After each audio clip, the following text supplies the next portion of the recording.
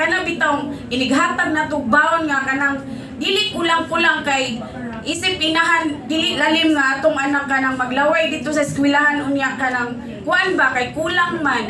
So naninguha jud ko maayo into rental kaning kuan kanang mag-project. Ako ginang gisuwat sa notebook ang akong mga kaila. Akong gi-categorize ang mga kaila nako kinsa to akong duolon para naagip ko everyday nga buhaton. Ako sa mi-explain nga kanang mauni mauna ang katong nga project. Kailangan jud ta muliho kay magunsa man ang amuang explanation diri. Kung iguli ninyo wala mo kanang gikuan bitaw gibuhat. Dili lang ta mo depende sa ato ang kita karon kay I'm sure tagsa tagsa magitag mga pangandoy sa atong pamilya. Tagsa tagsa ta og kana bitaw naa gitay ay gusto ko nga akong mga anak maka-eskwela gusto ko makapalit ani nga balay makaingana ba? Ang among gipuy-an kay kanagong rights ra ba? Ingana ra siya. So anytime pwede ra mi pahawaon ingana then lapok pa jud kaayo ingana kana bitaw inigulan. Mo ana ka nga sus nag-uwan na pud taga diri na sa jatuhod ang tubig ingana ba? So pero ako ra nang gi-sacrifice kay Kabaw ko ang Ginoo ihara jud nang ihatag akong mga pangandoy basta magampo lang ta nya mulihok pod ingana tagaan na ta mo nang ako sa una mag Kamo swerte mo dinhi sa Dumaguete kay daghan kayo diri mga foreigners. Daghan diri mo stay. Kanang ari na sila for good ba.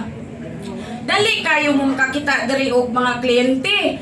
Di man kinahanglan nga fluent jud kay mong English nga kanang muduol mo nila.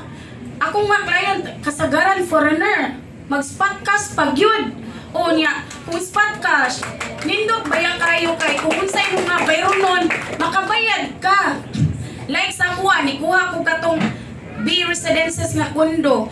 Niya og kanang sa katong bayanihan. Asa ko kwarta gibayad ato. Ang akong kita, ako sa jung ibal ibu, ibutang dito para dili siya magasto bisang asa-asa. Kay ngano ang kwarta dali kay na siya gastuon. Niya ako mga anak, ako na sagi, ang akong kamagwangan kay naman diri duha man akong anak. Ako gyud siyang gipa-eskwela og kanang real estate. Kay para nakabaw man ko nga unsa bitay future sa ato akong nata dinhi nga trabaho walay magbuot nato bisan pag ugma makahalin mo way magbuot ninyo pila ka milyon ninyong mahalin basta as long as positive lang gid mo dili mo mag kana bitong magulaw-ulaw. Ayaw jud anak kinanglan inyo jud ibutang sa inyong utok ug sa inyong dughan nga maninguha mo para sa inyong pamilya.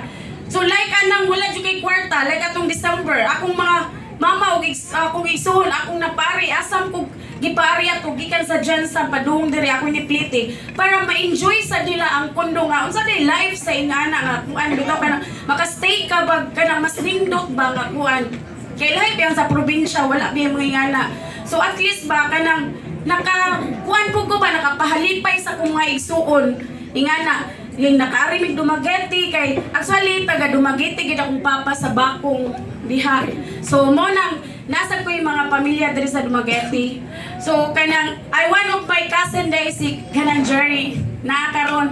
So ako sa jud siyang gi kuan giinggan nyo kay kana bitang gusto ko nga makatabang kamo din tanan kay tagsa-tagsa man tag kanang special ba unique ba so naagid mo yung mga talent ana kung gamiton lang dyan na ninyo, maparehas mo na mo, o mulabaw pa, mi- mulabaw pa mo na mo.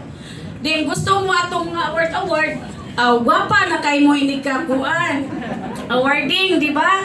So, di lang na po daganon kay base yun niya, magabihan ta Thank you kayo sa inyong tanano niya. Salamat kayo sa pag-ari yun karong panang adlaw. ah. Thank you kayo.